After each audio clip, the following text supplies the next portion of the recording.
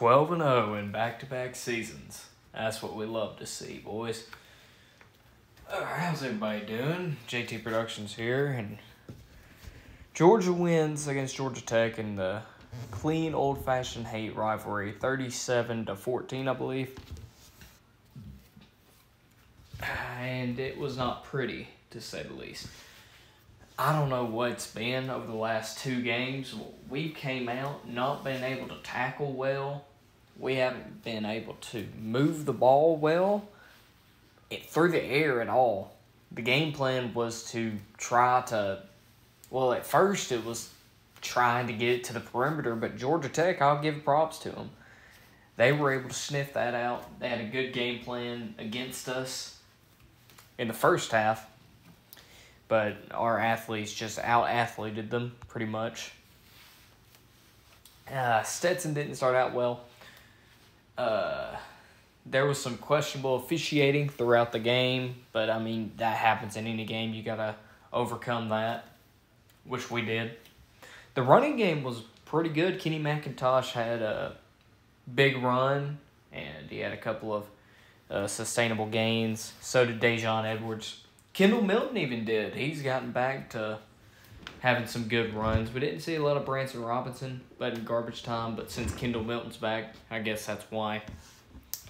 We just got a stable of running backs. Stetson, even with the slow start he had, he he had some good throws. Uh, he also had some good runs. Uh, one that should have been a touchdown, which they did, they called it back. They called it down at the one. Uh, but yeah, besides that, receivers looked good. There was no not any crucial drops. Offensive line did well blocking. Uh, near the second half, first half there was some leakage with Georgia Tech getting some pressure in the backfield and Stetson on that one quarterback draw Stetson was going to do. Besides that, looked fine. Defensively, the first drive we were horrible.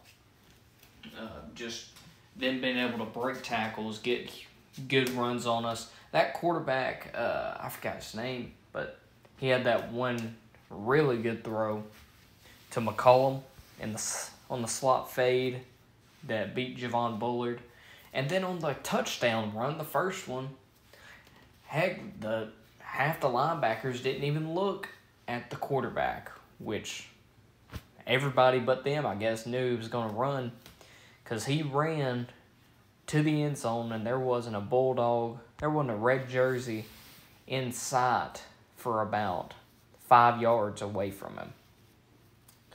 But after that, we started shoring that up, and by the end of the game, we were able to shut them down pretty much. The other touchdown was on a fluky uh, halfback pass play that they got a touchdown on to McCollum again. Or it was it Malachi Carter? I don't remember. But yeah, that's pretty much it. We should stay number one in the rankings. If they put Michigan at one, I, I just don't see why they would. They did beat Ohio State, but I mean, Georgia's also beat Oregon and Tennessee. So I'd still put Georgia at one. Still have them at one. That could just be Georgia biased. But why would you switch up unless something drastic had happened, like Georgia having a close win against Georgia Tech? Why would you switch up the rankings now? Anyways, Podlesny did good today. Punting, we did fine. But yeah, another crucial victory. Next up, we'll head to Atlanta, take on the 9 and 3 LSU Tigers. And let's keep the winning streak going. Hope y'all have a great day and go dogs.